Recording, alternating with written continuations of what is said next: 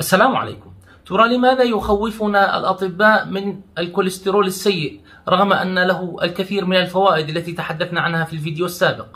تابعوني لآخر الفيديو لتعرفوا لماذا يخوفنا الأطباء منه. أولا أود نصيحة الجميع بالصيام لمدة 14 إلى 16 ساعة قبل فحص كوليسترول الدم السيء ولا بأس من شرب الماء في هذه الفترة لكي يكون فحص الكوليسترول أدق ما يمكن. لقد ذكرت في الفيديو السابق أن مستوى كوليسترول الدم يجب أن لا يتجاوز ال 160 ملغ عند الأشخاص الأصحاء بينما عند مرضى القلب مرضى داء السكري مرضى ارتفاع الضغط الشرياني مرضى سوابق السكتة الدماغية يجب أن لا يتجاوز مستوى ال 130 ملغ لكل 100 ملي حتى أن بعض الدراسات تؤكد على أن مستوى كوليسترول الدم السيء يجب أن لا يتجاوز مستوى ال 100 ملي جرام على 100 ملي دم في الحالات عالية الخطورة على الصحة. عموما هذا يعود تقديره إلى الزملاء أطباء أمراض القلب وأطباء الباطنية المسؤولين عن ضبط الكوليسترول عند مرضاهم. وعند ارتفاع الكوليسترول فوق هذه المستويات يبدأ بالترسب على جدران الشرايين وبسبب طبيعته الشمعية فإن جدران الشرايين التي ترسب عليها البروتينات الشحمية التي تحمل الكوليسترول السيء عادة تبدأ بالتصلب والذي يعرف بالتصلب العصيدي وتفقد الشرايين تدريجيا مرونتها إضافة لحدوث تضيق لمعة بعض الشرايين بسبب ازدياد حجم هذه العصيدة التدريج. هذا يعني تناقص كمية الدم الغني بالأكسجين باتجاه الأعضاء النبيلة مثل القلب والدماغ إضافة إلى شرايين الأطراف السفلية. أضف إلى أن تصلب جدران الشرايين يؤهب لحدوث ارتفاع توتر الدم الشرياني.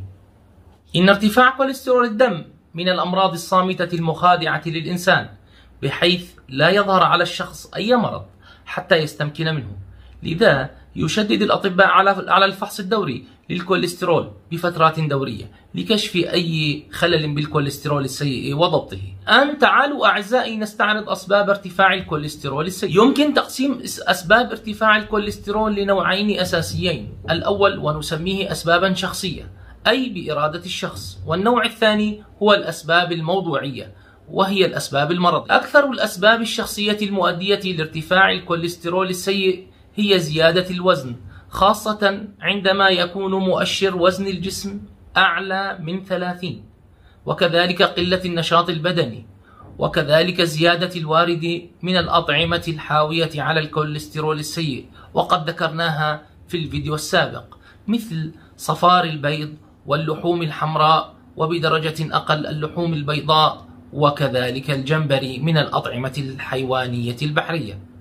وكذلك عند الحديث عن الألبان ومشتقاتها والسمن البلدي والزبدة والأعضاء الداخلية للحيوانات مثل الكبد والقلب والكليتين والدماغ حيث تكون غنية جدا بالكوليسترول السيء. أود التنبيه إلى أن الإكثار من السكروز وهو سكر التحلية المعروف والفركتوز وهو السكر الموجود في الفواكه يلعب دور برفع أنسولين الدم. وبالتالي يؤدي إلى رفع الكوليسترول الضار LDL ونقص الكوليسترول المفيد HDL لاحظ السكروز وهو ناتج اتحاد سكر الفركتوز مع سكر الجلوكوز والسكروز يتواجد بكثرة في الشوندر السكري وفيما يعرف بالبنجر وكذلك في قصب السكر ومنها يستخرج السكر المعروف. النوع الثاني هي الأسباب المرضية. والتي تتسبب بأمراض القلب والشرايين وأمراض السكتة الدماغية والتي على رأسها ارتفاع الكوليسترول العائلي. يحدث فرط كوليسترول الدم العائلي بسبب مورثة تنتقل من أحد الوالدين أو كليهما. الأشخاص المصابون بهذه الحالة تكون معهم منذ الولادة يمنع هذا العيب الجسم من التخلص من نوع الكوليسترول السيء LDL الذي يمكن أن يتراكم في جدران الشرايين ويسبب الأمراض المختلفة على القلب والدماغ وبقية الأعضاء. هؤلاء المرضى يعانون من ارتفاع الكوليسترول السيء LDL منذ الولادة وبالتالي هم مؤهبون لحدوث أمراض القلب والشرايين بأعمار مبكرة. لذلك يجب ضبط الكوليسترول بشكل جدي بإشراف زملائنا أطباء القلب الأعزاء. يجب التنبيه لدور تدخين السجائر والنرجيلة بزيادة ترسب الكوليسترول السيء على جدران الشرايين. صحيح أن التدخين لا يزيد من مستوى الكوليسترول في الدم لكن التدخين يؤذي الغلاف الداخلي للشرايين والتي نسميها طبيا بطانة الشرايين. وهذه الأذية تساهم بقوة بزيادة ترسب الكوليسترول السيء على جدران الشرايين محدثة تصلبا وتضيقا تدريجيا للشرايين الدموية وفي مراحل لاحقة تؤهب للذبحة الصدرية وتزيد من احتمال حدوث احتشاء في العضلة القلبية واحتشاء دماغي وانسداد في شرايين الأطراف السفلية. وهو ما يعرف بمرض برجر. ومن الأمراض الأخرى التي تؤثر في مستوى الكوليسترول هو الداء السكري.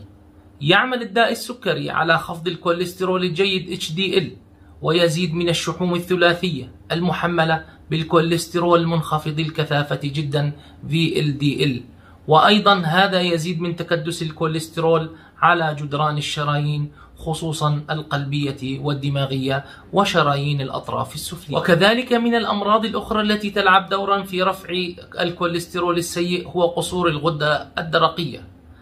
يؤدي خمول الغدة الدرقية إلى رفع الكوليسترول السيء LDL وبالتالي زيادة احتمال حدوث أمراض القلب والشرايين. لقد ذكرت في الفيديو السابق أن معظم الكوليسترول السيء يتم تصنيعه في الكبد وأن القسم اليسير فقط هو الذي يأتينا من المصادر الغذائية الخارجية.